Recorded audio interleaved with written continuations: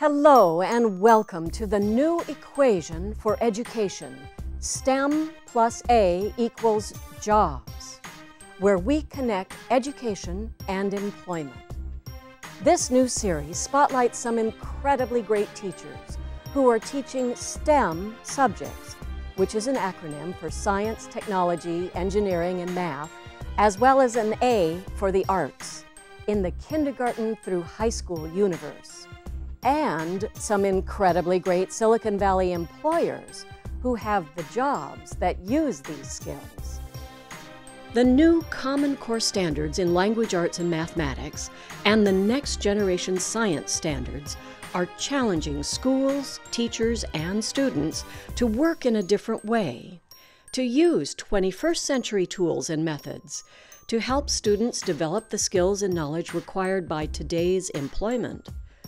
So, the teacher of each subject in every grade is being asked to have the students focus on how the information and skills they are learning will prepare them for college or for a current and or future job.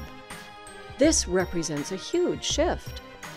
There is also a shift coming for industry.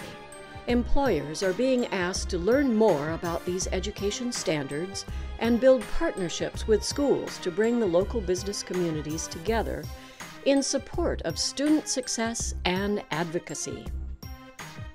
There is a sense of urgency in all this change. We are in the middle of a national and international job crisis. There are people who cannot find jobs for the skills they have, and employers that cannot find the skilled workers to fill their jobs. If job creation is the key to our future, how can we expect our graduating students to be ready for the jobs of the 21st century if they are using pedagogy developed for the 19th century? Instead of sitting quietly, passively listening to lectures, today's graduates need to be able to innovate, create, and problem solve for a world that we can't even imagine. This show will use new tools like Skype and Google Hangouts on air to interview the stakeholders teachers, students, university professors, industry representatives, and invite you to let your voice be heard on air and online through Twitter.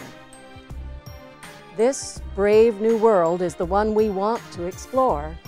The stakes are high, time is short, so let's see what's being done right now.